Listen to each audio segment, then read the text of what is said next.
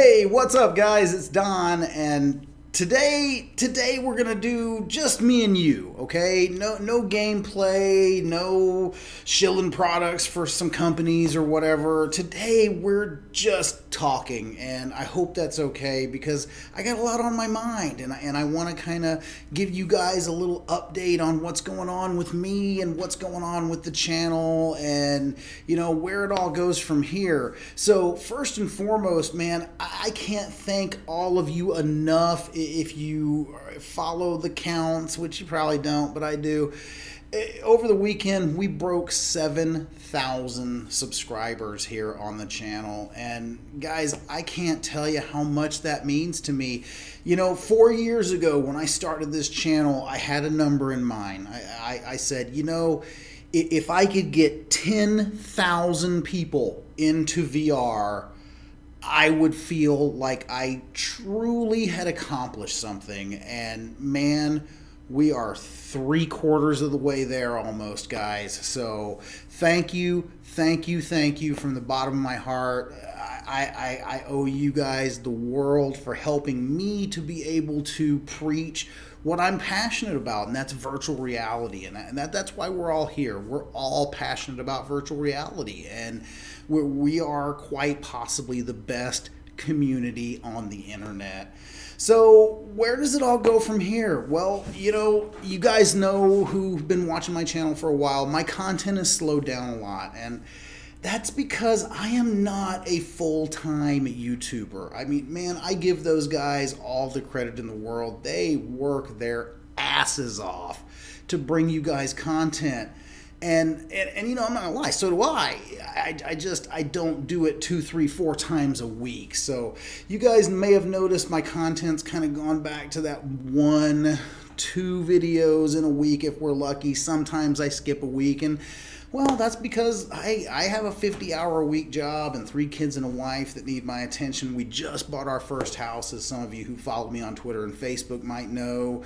Uh, I'm, I'm starting to renovate this studio space. Uh, I got the power run to it and, and you guys know this has been my dream. I mean, the whole four years I've been running the channel, I've been running it from my living room and my bedroom in a little tiny 1,100 square foot townhome with five people living in it. And now, thank God we we got out of there. We got our first house, and uh, it came with this, which is a 12. Uh, 12 by 20, which is about 240 square foot of studio space. So as you'll see here, I'm starting to finish it out. Uh, I right now it's kind of ghetto. There's no you know, there's no insulation in the walls. There's no walls, period. I mean, it's just the outer walls.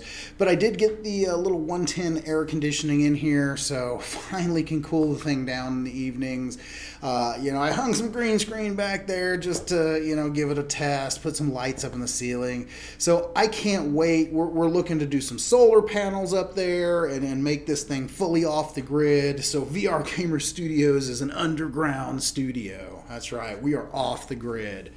So, you know, that's that's been taking up a lot of my time. Let's see what else is going on. Uh, let's see, we got the uh, VR Spies uh, kind of back together. So myself, UK Rifter, Reality Check VR, and Pretty Neat VR have uh, revived the Spies a little bit, and we are doing the podcast again on Sundays over on the uh, VR Spies channel. So if you are not subscribed to that one, I'm going to throw a link for it in the description. Head down there, hit subscribe, ring the bell. That way you get notified.